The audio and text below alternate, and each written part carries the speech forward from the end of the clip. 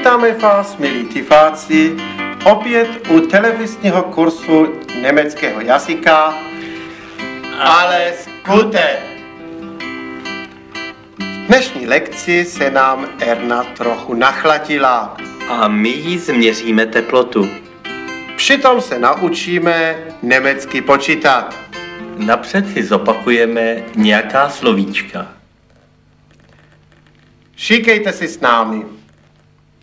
Der Thermometer, Teploměr, der Thermometer, teploměr, der Grad, stupeň, der Grad, stupeň, das Fieber, teplota, das Fieber, teplota, hohe, vysoká, hohe, vysoká, 45, 45, 45. 45. A nyní si řekněme celé věty. Erna hat zu kaltes Bier getrunken. Erna pila moc studené pivo. Es hatte 12 Grad. Mělo 12 stupňů. Äh, Erna hat sich erkältet. äh, Erna se nachladila. Sie hat im Zimmer angenehme Temperatur. Má v pokoji příjemnou teplotu.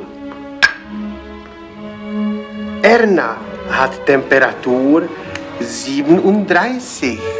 Erna má teplotu 37 stupňů. Erna hat schon hohe Fieber, 42 Grad.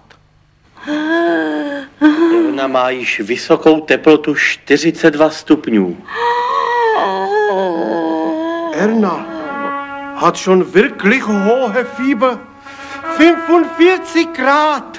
Erna má již opravdu vysokou teplotu 45 stupňů. Erna hat jetzt Zimmertemperatur. Erna má nyní pokojovou teplotu. Děkujeme za pozornost, milí diváci. Příští lekce se bude nazývat Co si dáme do mrasáku? Těšíme se na vás při příští lekce Němčiny. Ale skute!